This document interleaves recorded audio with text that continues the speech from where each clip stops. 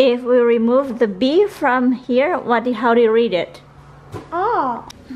Rocket. Hindi, ikakwento ko sa inyo kung ano yung totoong nangyari sa kuya ko, kung ano nangyari dun sa kabanggaan niya, at kung magkano yung binayaran namin para hindi makulong yung kuya ko.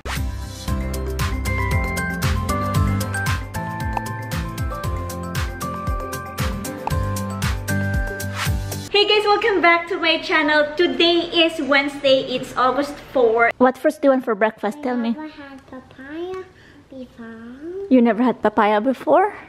Oh. You had papaya for tinola. What do you want? Banana, watermelon, strawberry, or blueberry? Papaya. Mango when I was a baby. You remember that I fed you mango when you were a baby? If I find mango and papaya, I'll buy you some, okay? And then you can have them, okay? Papayas and mangoes. Yum yum. Why don't you play with your brother? I'll read your book while I'm cutting your fruit, okay? Here. It's really yum. Careful with the pokey thing, okay? Grabe naman to kumain na ako. Tracy, slow down, okay? You just had your waffle.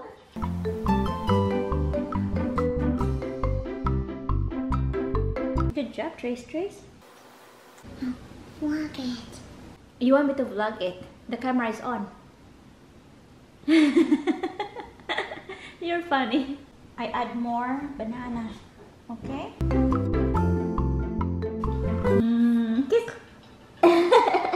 Forehead. Nose. Eyes. Belly. Kiss your brother. Kiss your brother. Dog, cat, pig, ball, off. If we remove the B from here, what? do- How do you read it? Oh. If we remove this, how do you read it?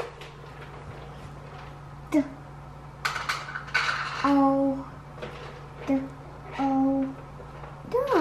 Good job. How about this? At. At. Good job, my love. Well, you have to P. It says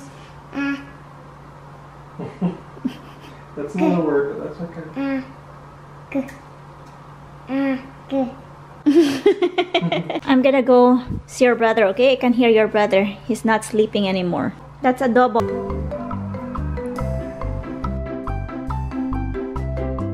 Yeah, we can make some smoothies for you later, okay? I will go movie. Okay, you can have smoothies later. Oh. Eat your food, okay? I'm gonna go see your brother, okay? Leave the camera. They've already seen enough, my love, okay? I love you. Do you like it here? Did you close the door, sweetheart? Thank you. You sit down on your chair there? You like it outside, Trace? It's nice in here. Look at the sky, it's blue. Hi. Good evening. Sorry, Jamie. There's a bee! There's a bee! Don't move, don't move.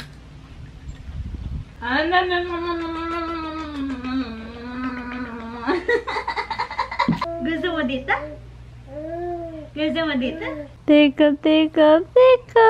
Nagkikiliti ka?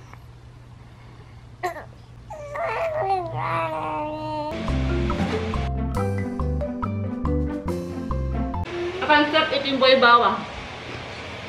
One is yummy. It's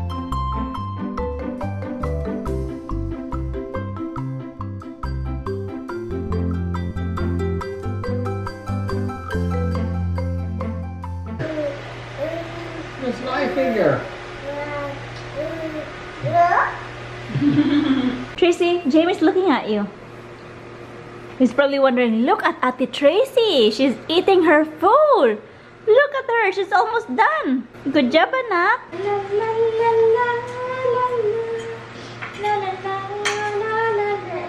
Hi. Are you done with your food, Tracy? Look What's with your hair? Your hair is a mess. Look at your hair. Are you like daddy? Curly hair? You got curly, curly hair? You got poofy now. Oh, yeah. Mm, you talkative? You in a good mood? Yeah.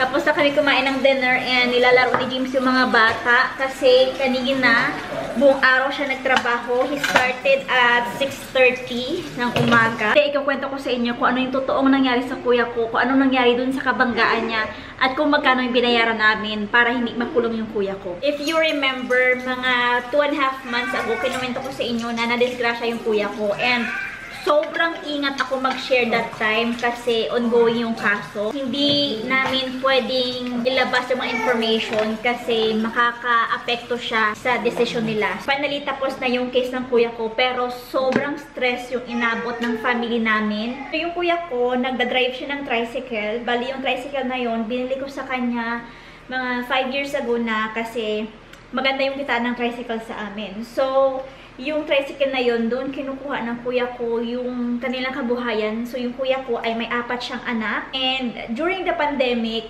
sobrang nakatulong talaga yung pagta-tricycle niya. Kasi iba nawawala ng trabaho, di ba? Pero yung kuya ko, kahit na pandemic, eh, nagbabiyahe pa rin siya. So, during the pandemic, yung biyahe ng kuya ko, instead of 6 days a week, eh, naging 4 days a week na lang. Dahil ilang araw na lang siyang bumabiyahe nitong pandemic, eh, yung kuya ko, sinusulit niya kapag araw ng biyahe niya. So, nagsistart siya ng madaling araw, and natatapos na siya ng mga alas 12 yata ng hating gabi. And isang gabi, habang pauwi yung kuya ko, ay may nakabangga siyang motor.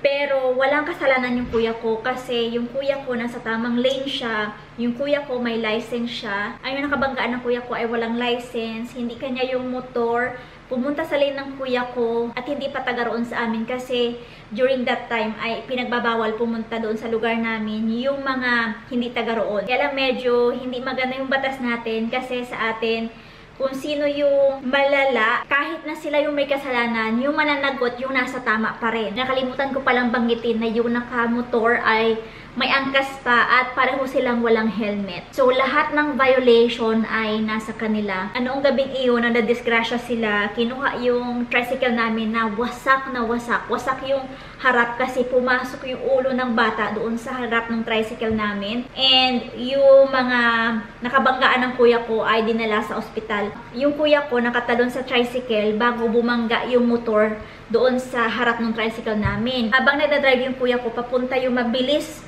na motor doon sa lane niya and iniwas ng kuya ko and hindi sapat yung pag-iwas niya, tumama pa rin yung motor doon sa harap ng tricycle namin. Pero kung hindi nakaiwas yung kuya ko, doon mismo sa mukha ng kuya ko, tumama din yung motor. So, Mabuti na lang nakaiwas yung kuya ko at nakatalon bago pa tumama yung motor doon sa tricycle ng kuya ko. Thanks God, wala nangyari sa kuya ko. Ang pinaka-injury lang niya ay hinlalaki lang ng kanyang paa. Pero nung araw na yun ay kinuha yung tricycle niya at hindi siya nakapagbiyahe na kasi hinold ng police station pati na rin yung motor nung nakabanggaan ng kuya ko. And matagal naming nakuha yung tricycle kasi ang daming hearing na pinagdaanan at hindi kami pumayag doon sa gusto ng kabilang panig. So nung una, gusto nila na sagutin namin yung 60% noong gastos nila sa ospital. Pero binabaan ng 10%, sabi namin 50-50. Alam niyo naman yung batas ng Pilipinas, kung sino yung may injury, sila yung papanigan. Tapos kung sino yung walang injury, kahit na ikaw yung nasa tama, ikaw pa yung magbabayad. Ang daming mga pinuntahan ng kaso na i-report sa, sa barangay, nagkaroon ng police report, naka-document lahat yon And then, ano sa mga hearing nila ay hinihingian kami ng 60% ng pambayad sa ospital. Sobrang stress ako guys kasi lagi akong tinatawagan kung kaya ba namin magbayad ng 60% kasi kung hindi daw namin babayaran ng 60% ay kakasuhan daw nila yung kuya ko, baka daw makulong yung kuya ko. Sabi ng isang lawyer sa akin, mag-areglo na lang pumayag na lang kayo doon sa amount na gusto nila. Kasi pwede makulong daw si kuya dahil ganun daw talaga yung batas sa atin. Kasi imagine niyo yung hearing sa Philippines ay araw and gabi dito. And napupuyat ako sa gabi para mag-monitor sa hearing nila kasi tinatawagan nila ako na ganito daw yung babayaran, ganyan-ganyan. So pumayag na lang ako. Hanggang sa nalaman na lang namin na apat na operations yung gagawin dun sa bata na ang operation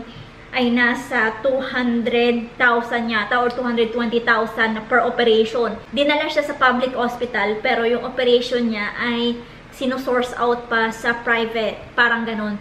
So, malaki talaga yung babayaran plus yung doctor's fee pa, plus yung mga gamot, at saka yung mga aparatos, ang dami, dami, daming, daming babayaran. So, umabot sa punto na sinabi nila sa amin, baka abutin ng 400,000 yung aming parte. So, 400 to 500,000. And sabi ko, sobrang laki nung babayaran pala namin. Kasi hindi talaga namin alam na yung 60% na yon actually, pinababa namin, ginawa namin 50% ay aabot sa ganong halaga. Sabi ko, sobrang laki na wala namang kasalanan yung kuya ko. Kung tutusin, walang kasalanan yung kuya ko.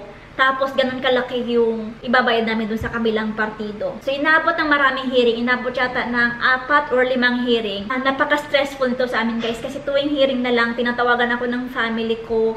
Kasi wala namang mapagkukuha ng iba yung kuya ko, kundi sa amin. Parang ang bigat sa loob ko na magbayad ng ganun kalaking halaga na wala namang kasalanan yung kuya ko. Kasi meron naman mga police report. Kung siya talaga yung bumangga, kung siya yung wala sa tamang lane, kung siya yung walang helmet, kung siya yung may kasalanan, okay lang na magbayad kami. Pero, ang pinaglalaban namin dito, walang kasalanan yung kuya ko. Tinawagan ako nung kakilala namin na nag-a-advise sa amin hanggang magkano yung kaya mong ibigay. So, sabi ko, 100,000 lang ang kaya kong ibigay bilang tulong. Kasi kawawa din yung kabilang partido, wala din sila mapagkukuhanan ng pambayad sa ospital. And sabi ko, mag-start sila sa 80,000 para in case na tumawad sila, eh, meron pa kaming, ano, meron pa kaming allowance ba. So, nung huling hearing, ay sabi ng kuya ko, hanggang 80 lang yung kaya namin ibigay. Hindi sana papayag yung kabilang parte. Sabi nila ay kakasuhan sana nila yung kuya ko. And then, sinabi nung nag-hearing na kung kakasuhan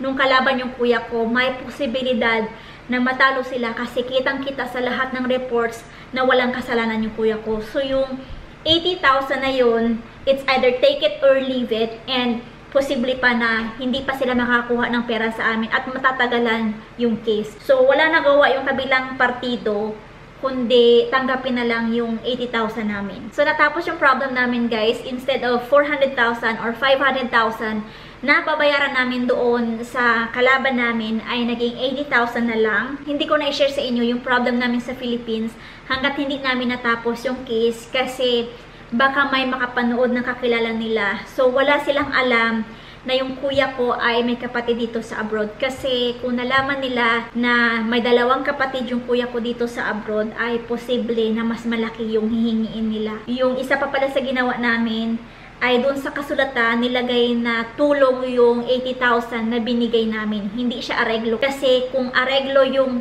ilalagay doon, eh parang inaamin ng kuya ko na may kasalanan siya doon sa banggaan. Hindi ko alam kung nasa ospital pa rin yung nakabanggaan ng kuya ko kasi ang huling balita namin ay hindi yata makapagsalita kasi sobrang laki ng tama niya and hindi ko alam kung nakapagpa-opera na pero parang humingi yata sila ng tulong sa iba't ibang organization sa mga politik. At yata sa PCSO ay humingi sila ng tulong para doon sa pambayad doon sa ospital. Ayun guys, hanggang dito na lang yung kwento ko tungkol sa nangyari sa kuya ko. I hope na may natutunan kayo kahit papano na yung mga anak natin, bantayan natin, huwag nating hayaan sila na lumabas na walang helmet kasi yung disgrasya hindi siya maiwasan. And kapag kayo ay may case tulad sa amin, sana ay huwag kayo padalos-dalos sa desisyon tulad ng ginawa namin na pumayag kami doon sa 50%.